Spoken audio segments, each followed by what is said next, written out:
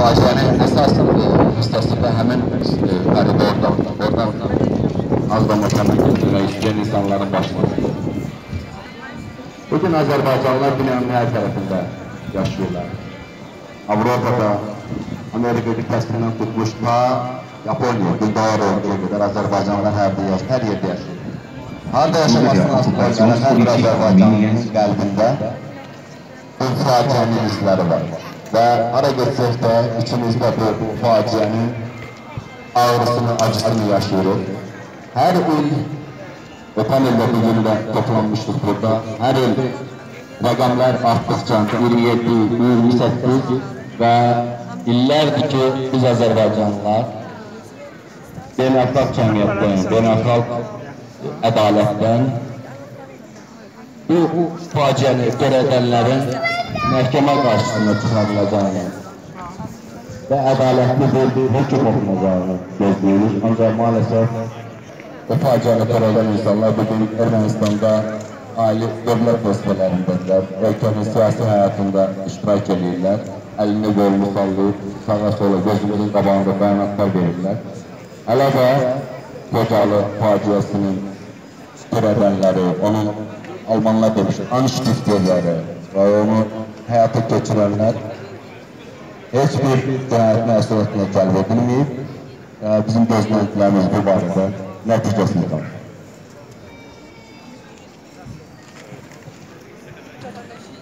Vom 25. zum 26. Februar 1992 griffen die Streitkräfte Armeniens mit direkter Teilnahme der restlichen Truppen der ehemaligen Sowjetunion die Stadt Khochaly in Aserbaidschan an und verübten einen der schrecklichsten Genozide des 20. Jahrhunderts.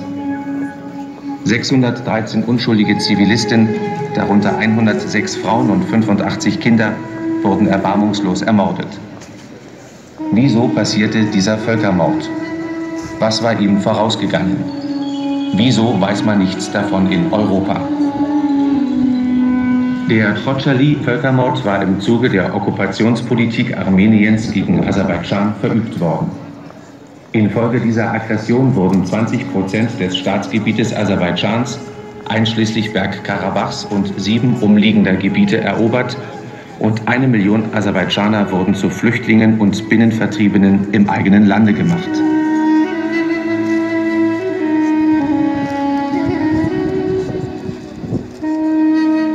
Die Wurzeln des Bergkarabach-Konfliktes reichen bis in den Beginn des 19. Jahrhunderts zurück.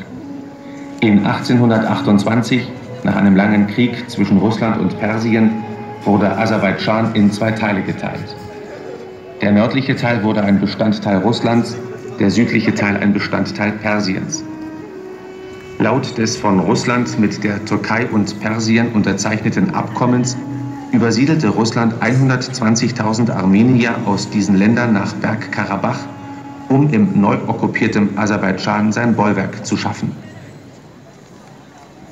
Eroberung Aserbaidschans durch die Rote Armee und seiner Inkorporierung in die Sowjetunion bekam Bergkarabach einen hohen Grad der Autonomie innerhalb Aserbaidschans.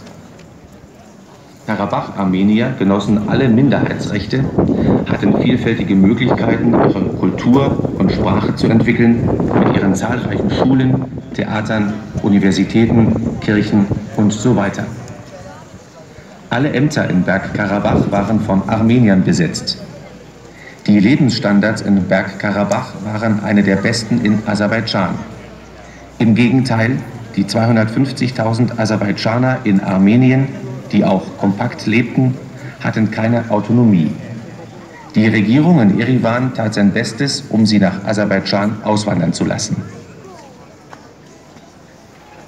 Die Sowjetunion Ende der 80er Jahre angefangen hat, sich zu schwächen, begannen einige Ultranationalisten in Armenien 1988 Gebietsansprüche gegen Aserbaidschan zu erheben und die Übergabe des Bergkarabachs an Armenien zu verlangen.